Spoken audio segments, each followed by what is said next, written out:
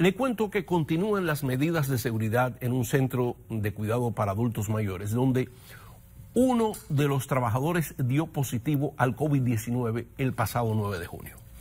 La semana pasada, la Autoridad de Salud de Laredo, el doctor Víctor Treviño, confirmó que una empleada del centro Retama West dio negativo el 20 de mayo, pero después de una segunda ronda de pruebas, sus resultados salieron positivos el 9 de junio. Sígame como lo estoy guiando por cada fecha. Y luego, en una tercera prueba, el resultado volvió a salir negativo, esto el 10 de junio. Así lo dio a conocer el propio doctor Treviño, que también es el director médico del asilo de ancianos Retama West.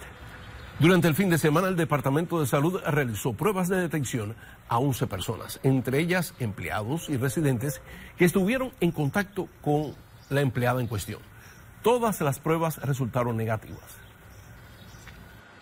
Es importante para los familiares saber qué está sucediendo y por medio de nuestra información se les puede decir que actuamos rápidamente y tenemos medidas en lugar ya preparadas para situaciones de estas que sabíamos que es posible que sucedieran.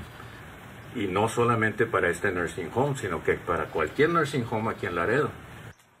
El doctor Treviño agregó que en una semana se realizarán nuevas pruebas a los residentes y empleados del área donde trabajaba la empleada, pero afirmó que están buscando realizar pruebas a todos los residentes y empleados de todo el asilo de manera periódica.